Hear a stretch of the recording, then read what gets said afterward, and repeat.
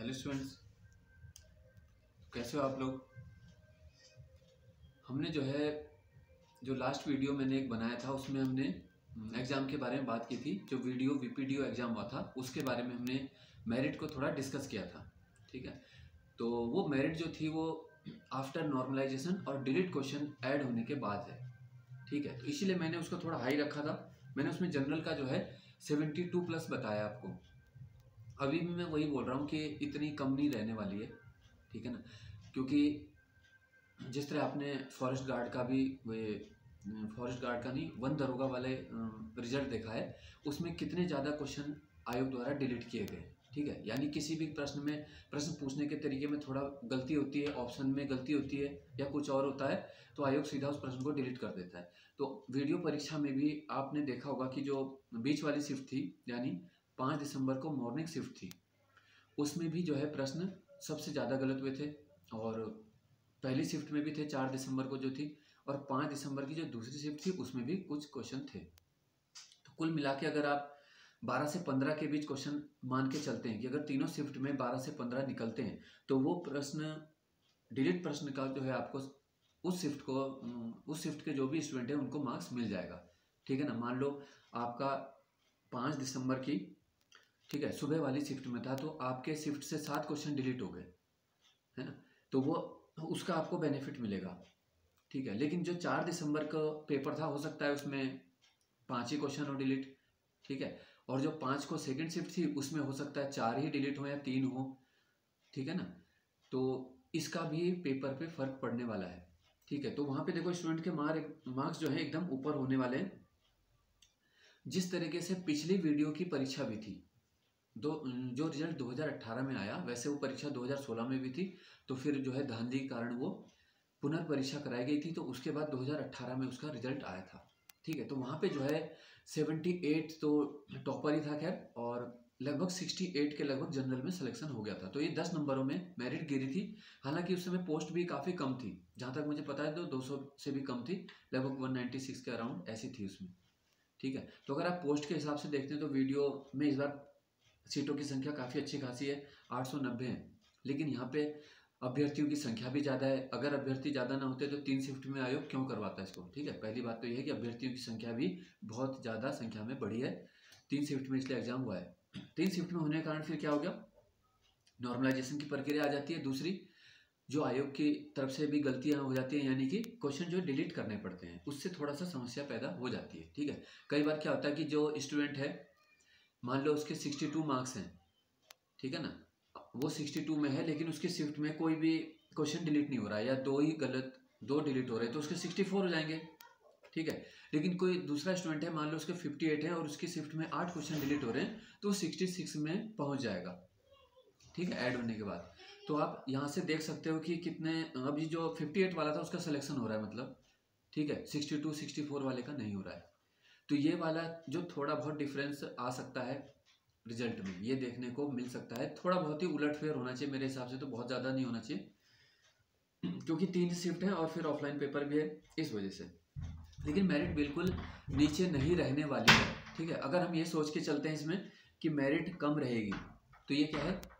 हमारी गलती होगी, ठीक है? अभी मान के चलते हैं, देखो जिस स्टूडेंट के मार्क्स हैं सिक्सटी सिक्स एक उदाहरण दे रहा हूँ मैं कि किसी स्टूडेंट के वीडियो की किसी भी शिफ्ट में मान लो आप कि आपके सिक्सटी सिक्स मार्क्स हैं। अब इसमें आपके पाँच क्वेश्चन डिलीट के मान लो आपको मिलते हैं या चार मिलते हैं तो चार मिले तो आपके सत्तर हो गए। ठीक है, दो आपको नॉर्मलाइजेशन में ऊपर हो जाते हैं मान लो। वैसे तो उसमें घट भी सकते हैं, लेकिन ज़्यादातर बढ़ते ही हैं। तो आप बहत्तर पे पहुँच चुका है तो छियासठ वाला जो है वो बहत्तर पे पहुँच चुका है।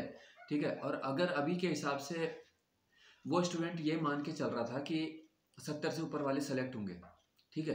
लेकिन वो छियासठ वाला तो बहत्तर पे आ चुका है छः अंक ऊपर तो सत्तर वाला छिहत्तर पे चला जाएगा। इसी वजह से ये मेरिट थोड़ा हाई बताई जा रही है, ठीक है ना? तो ये इतनी हाई भी नहीं है। ये बढ़ा के नॉर्मलाइजेशन और डिलीट क्वेश्चन के बाद है, ठीक है? एक तो ये बात करनी थी। दूसरी बात जो है, उस दिन मैंने ये भी उसमें बताया था कि अभी सात सौ छियालीस जो पद हैं, इकतीस अक्टूबर की जो परीक्षा थी, जिसमें टाइपिंग टेस्ट भी है, उसके बारे में भी थोड़ा आज हम डिस्कस कर लेते हैं इसमें। तो देखो जो इकतीस अक्टूबर को पेपर हुआ था, वो दो शिफ्ट में था। ठीक है ना? अब उसमें क्योंकि टाइपिंग भी है, हालाँकि लगभग 200 कुछ पद उसमें ऐसे भी बन रहे हैं जो बिना टाइपिंग वाले हैं तो वो उसमें ज़ाहिर सी बात है, वो हाई मेरिट वाले ही होंगे, है ना? और उन्हीं छात्रों ने वीडियो परीक्षा भी दी है। कुछ छात्रों ने उनमें से वन दरोगा का भी दिया होगा तो ऐसे कॉमन कितने होते हैं? क्योंकि वन दरोगा का थोड़ा अलग हो गया, उसमें ये साइंस मांगी हुई थी, लेकिन ये जो वीडियो की परीक्षा होगी और आपका सात सौ छियालीस वाला होगा क्लैरिकल इसमें सेम सिलेबस है है ना? यानी सेम तैयारी वाले स्टूडेंट है। तो मोस्टली स्टूडेंट ये मान के चलो कि सत्तर से अस्सी परसेंट स्टूडेंट ऐसे थे जिन्होंने दोनों परीक्षाएँ दी हैं और दोनों में बेहतरीन प्रदर्शन किया है। या थोड़ा बहुत ऊपर नीचे रहता है, ठीक है ना? अगर आपका लेवल सत्तर नंबर का है तो वहाँ हो सकता है किसी में आपके सिक्सटी एट हो, किसी में सेवेंटी टू हो, या किसी में सेवेंटी है दोनों में, ठीक है? या आपके सिक्सटी फाइव हैं तो दूसरे में सिक्सटी सिक्स हैं। ठीक है ना स्टूडेंट ऊपर नीचे ही मिले हैं जो अभी तक मैंने जिनसे बातें किया जिनको जानता हूँ तो उनसे एक ये आइडिया मिला है है ना? एक मिनट से हम्म। तो ये आइडिया मिला है उनसे, ठीक है। अब हम इसके मेरिट की बात करते हैं तो देखो, क्योंकि इसमें टाइपिंग भी है, ठीक है, और टाइपिंग में आपको पता है कि लगभग चार गुना अभ्यर्थी बुलाए जाते हैं। तो ज़ाहिर सी बात है, इसमें डाउन जाएगी फ़र्स्ट मेरिट लेकिन इसका मतलब क्या है कि जो 500 कुछ पद इसमें बच रहे हैं टाइपिंग वाले तो यानी कि उसमें 2000 स्टूडेंट को बुलाया जाएगा। ठीक है, लेकिन क्या वो सारे 1500 टाइपिंग में बाहर होंगे? ऐसा नहीं है। ठीक है, मान लो 800 या हज़ार स्टूडेंट टाइपिंग में बाहर होते हैं या टाइपिंग नहीं देने जाते हैं या उनका किसी और एग्ज़ाम में हो जाता है, ये परिस्थिति ऐसी बनती है। तो जो अब हज़ार स्टूडेंट बचते हैं, जो टाइपिंग क्वालिफाई करते हैं, अब इनकी फिर मेरिट बनती है। तो मेरिट थोड़ा सा ऊपर हो सकती है। तो जो लास्ट में मतलब बॉर्डर पे स्टूडेंट होगा कट ऑफ़ में मान लो सिक्सटी थ्री पे सिक्सटी फोर पे, इस टाइप से जो मेरिट पे स्टूडेंट आ रहे हैं, उसमें क्या होगा? वो थोड़ा सा ऊपर जा सकती है। जैसे हाई कोर्ट में देखा होगा आपने हाई कोर्ट क्लैरिकल का जो एग्ज़ाम हुआ था, उसमें वन फोर्टी मार्क्स का पेपर था, ठीक है ना? तो इस प्रकार से होता है क्योंकि जो टाइपिंग की तैयारी कर रहे हैं तो ज़ाहिर से बात है कि वो एक तिहाई बाहर तो नहीं होंगे उतने। ठीक है ना? ये थ्री बाई फोर यानी सेवेंटी फाइव परसेंट बाहर तो नहीं होंगे वो।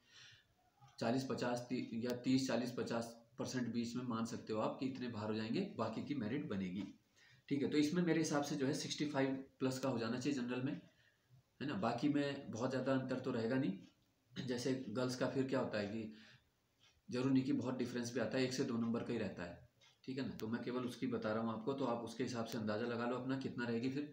एक से दो नंबर गर्ल्स की हमेशा नीचे है। तो सिक्सटी फाइव प्लस अगर आपके इकतीस अक्टूबर की परीक्षा में आ रहे जनरल में, ठीक है तो आपका उसमें फिर हो जाएगा उसमें। टाइपिंग की, अगर आप तैयारी कर रहे हो, टाइपिंग भी ठीक ठाक है तो उसमें आप निकल जाएगा। बहुत ज़्यादा स्पीड भी है नहीं इसमें। फोर थाउज़ेंड की डिप्रेशन पर आ रहा है इसमें, ठीक है। फोर थाउज़ेंड की डिप्रेशन इसमें मंगा हुआ है। ई डब्ल्यू एस में और ओ बी सी में ये सिक्सटी फोर, इसमें प्लस है, सिक्सटी फोर मान के चलो, ठीक है। फिर एस सी का है फिफ्टी एट प्लस और एस टी के लिए है फिफ्टी सेवन तो मेरे हिसाब से जो इसका मेरिट का मेरे हिसाब से ये अनुमान है। ठीक है, बाकी वीडियो वाली परीक्षा का मैंने आपको बता दिया, उसमें हाई रहने के कई कारण भी हैं, क्योंकि देखो जो अगर वीडियो परीक्षा का पहले आता है, ठीक है ना तो सब उसी में जाएँगे। ज़ाहिर सी बात है उसमें, है ना, ऊपर स्केल हैं और कुछ पद उसमें और भी अच्छे हैं लेवल फाइव सिक्स भी है उसमें।